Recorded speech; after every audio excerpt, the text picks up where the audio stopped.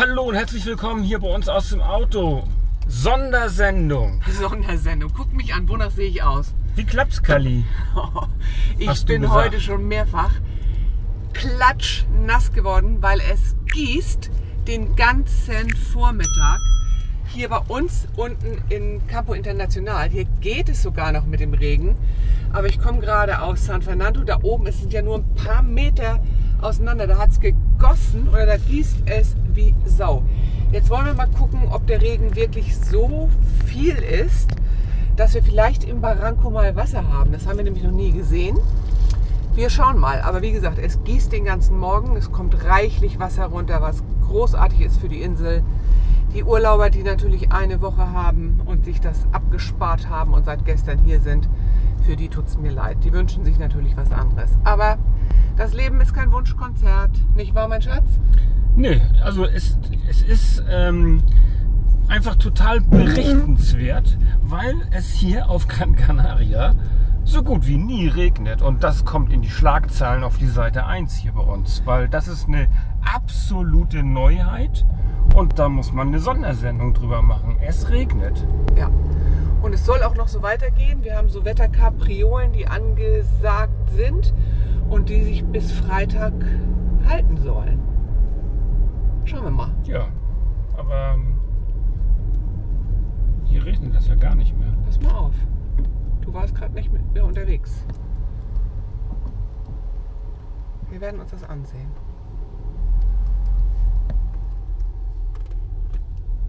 Ja, ich meine, das ändert sich ja auch ganz, ganz schnell wieder, ne? Ja. Ich bin gerade an dem Markt ja vorbeigefahren, der zur linken Hand hier liegt. Da sind kaum, kaum Besucher und es sind auch wenige Aussteller da. Guck dir an, was für Wasser auf der Straße ist. Große Pfützen, das ist doch auch für Gran Canaria total ungewöhnlich. Ja. Irre, oder hier? Ja, dass man über Regen eine Sondersendung macht. Und du merkst hier, hier fängt es mehr an zu regnen. Ja. Aber dann mach doch mal den Scheibenwischer an. Kann da ja endlich mal was machen. Das Auto ist auch wieder sauber von ganz allein. Wie viel Grad haben wir eigentlich? Äh, 23,5. Nicht schlecht.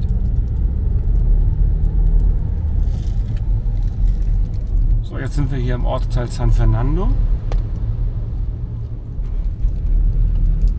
Ja, wir fahren noch mal ein bisschen weiter natürlich. Hier war es vorhin viel, viel schlimmer. Ich meine, wir wollen ja nun auch keinen Katastrophentourismus, äh, Tourismus, Quatsch. Journalismus, wollte ich das schon nennen. Ich lach mich tot. Wir erzählen doch eigentlich nur dummes Zeug. Ja, und wir wollen über keine Katastrophen berichten. Also wie gesagt, der Regen ist für die Insel ein Traum, ein echtes Geschenk und man freut sich hier natürlich. Na, bringen tut das glaube ich nichts. Das ist morgen ja alles wieder weg. Ja, aber das Wetter, wie gesagt, soll sich ja zwei Tage doch auf diesem Niveau bewegen. Also Ja, wenn, zwei wenn Tage es, Regen ja, wenn es so weitergeht.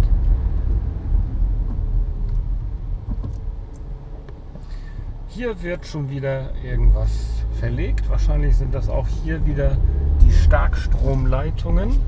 Man rüstet sich für die E-Mobilität. Ja. Aber bisher gibt es hier recht wenige äh, Ladeinfrastruktur.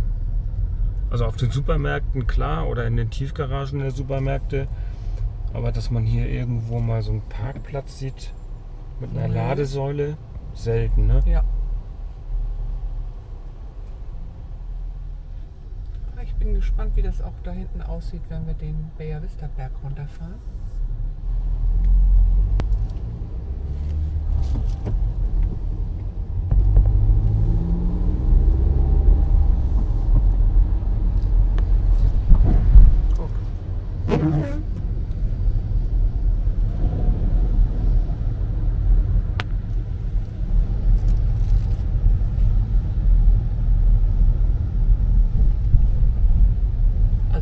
Bei all unseren Aufenthalten hier auf Gran Canaria, habe ich das noch nicht erlebt. Du auch nicht, oder? Einmal. Da hat es den ganzen Tag nur geschüttet. Da war ich gar nicht hier. Stimmt. Da musstest du alleine sauber machen. Ja. Hast du auch gut hingekriegt. Ja. Weil es sieht natürlich auf, natürlich auf den Terrassen und auf den Balkonen nach so einem Wetter dementsprechend aus, wie ihr euch vorstellen könnt. Es kommt ja immer auch Staub und Sand aus der Luft mit runter.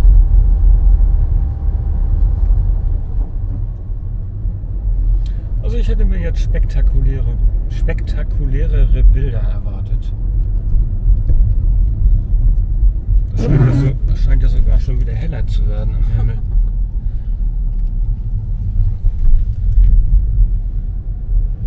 Aber allen Leuten, denen ich heute begegnet bin, die hatten ein Lächeln im Gesicht.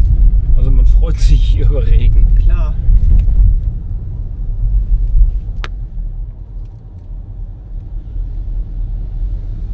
Ja, scheint, hier unten scheint es tatsächlich heller zu werden. Aber wir fahren mal nach Playa, ne?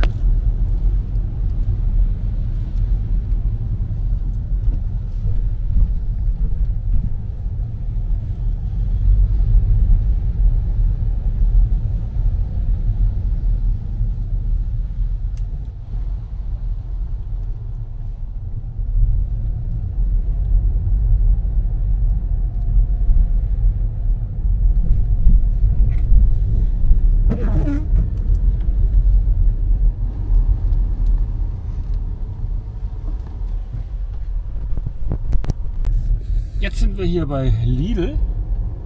Und hier ist, wenn irgendwo Wasser runterkommt, hier in der Kurve, hier steht es dann so Wirklich? richtig. Ja. Aber ich meine, das kommt ja auch von beiden Seiten berg runter. Ja.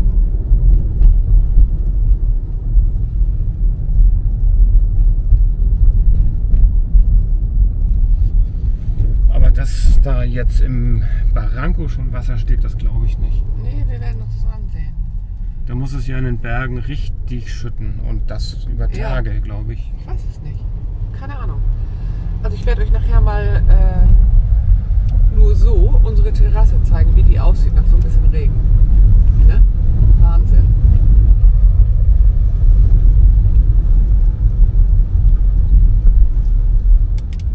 Wir sind, glaube ich, auch der einzige Bungalow bei uns in der Anlage, der eine Dachrinne hat. Warum haben wir das eigentlich gemacht? Weil Weil wenn das mal, ja. das, äh, morgens ist das immer so, dass man äh, eine hohe Luftfeuchtigkeit hat. Na, immer nicht, aber häufig ist das so. Äh, und dann tropft das immer von dem, Von der Markise, ne? von der Überdachung Ach ja, von vom der Über- Balkon, tropft dann immer dieses ähm, Kondenswasser auf die Markise. Und das Geräusch hat mich immer wach gemacht. Und das läuft dann auch auf den, auf den Fliesen, auf die Fliesen.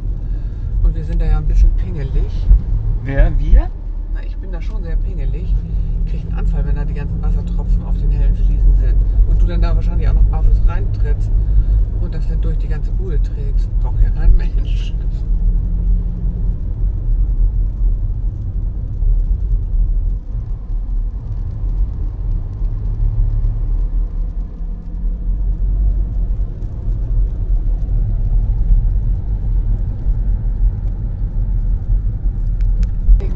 Ja, ein Video zu machen über Regen ist bei von jedem anderen Ort dieser Welt völliger Blödsinn. Hier natürlich auch, auch völliger Blödsinn. Aber wir möchten ja auch über neue Sachen berichten. Und wenn es hier regnet, muss ich sagen, das ist wirklich neu. Das passiert zwei oder dreimal im Jahr. Manchmal auch nur für ein paar Minuten oder für ein halbes Stündchen im Höchstfall. Aber heute regnet es schon den ganzen Vormittag. Es fing gestern Nacht, glaube ich, an. Ja, ich bin wach geworden Ja. davon. Und dann hat es eigentlich so durchgeregnet. Jetzt scheint sich das langsam zu entspannen. Wir werden das sehen. Vielleicht kriegt ihr noch mal neue Bilder am Nachmittag. Aber wir fahren jetzt nochmal zum Barranco Genau. und ich habe wenig Hoffnung, dass da Wasser drin ist. Wir schauen mal. Also sonst habe ich ja auch immer meine Sonnenbrille auf. Das ist ja auch eigentlich unhöflich, aber sonst kann ich einfach nicht aus den Augen gucken, wenn die Sonne scheint. Ich habe nasse Haare. Und heute brauche ich definitiv keine Sonnenbrille. Nein.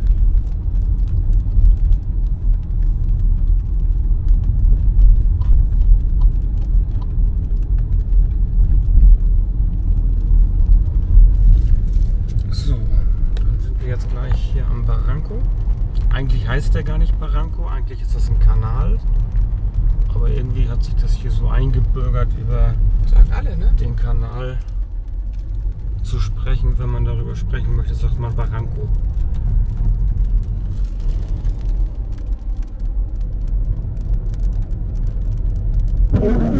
Jetzt kommen schon wieder ein paar Tropfen. Große, große, dicke. So, das ist jetzt hier der Kanal. Steht natürlich kein Wasser.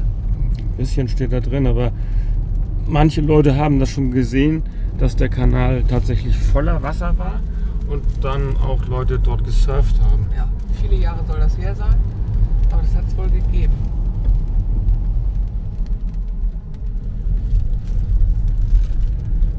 Ein Freund von uns berichtete auch, dass der Barranco mal so voller Wasser war, dass der bis zum Chaka, das ist dieser kleine See vor dem Atlantik, am Strand unten in Maspalomas, da ist der, der Kanal, der Barranco, durch den Chaka über den Strand in den Atlantik hineingelaufen. Und das sind nicht wenige Meter. Und man konnte diesen ja, reißenden Fluss, der dann entstanden ist, den konnte man nicht mehr überqueren, so tief war der und Ja. so gefährlich war der.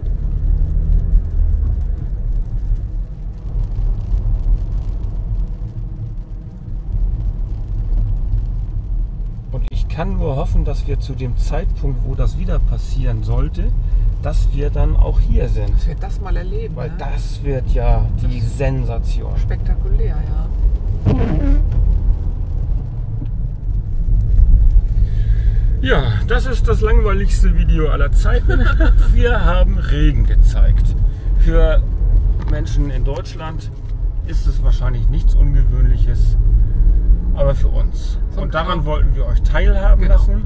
Falls euch dieses Video nicht gefallen hat, dürft ihr gerne ausmachen. Ja, genau. Weil es gibt auch immer Menschen, die kommentieren unsere Videos und finden die total langweilig. Dann frage ich mich immer, warum gucken die das eigentlich? Ist Ja. doch keiner gezwungen, das zu sehen. Aber man muss das auch nicht gut finden, was wir machen. Die meisten unserer Zuschauer finden das gut.